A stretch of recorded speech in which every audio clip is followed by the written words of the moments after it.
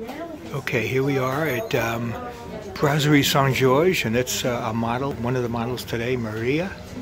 And here's the group setting up. There's Henry, who's uh, Sharon's monitor in class at the league. And here's the rest of the class. Where's uh, here Sharon? Where is she? Uh, I hear her voice. I don't see her. Where?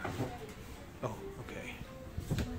Uh, she's right behind uh, Hilly there, anyway. And then over here, we have uh, Danielle, who's the other model, French model, and of course, and he's posing on the other side of the of the restaurant on the second floor here. We have a bunch of people drawing and painting him. So we had lunch here first, and then um, we set set things up, moved things around a little bit. It was uh, quite interesting. Let me see if I could find Sharon here. Let me see what she's up to. I'm one team is probably. Hilly, Hilly, Hilly, move out of the way just a minute. There, there she is. I know. I just wanted to get a video of you. So that was Sharon. Okay. I know. I know.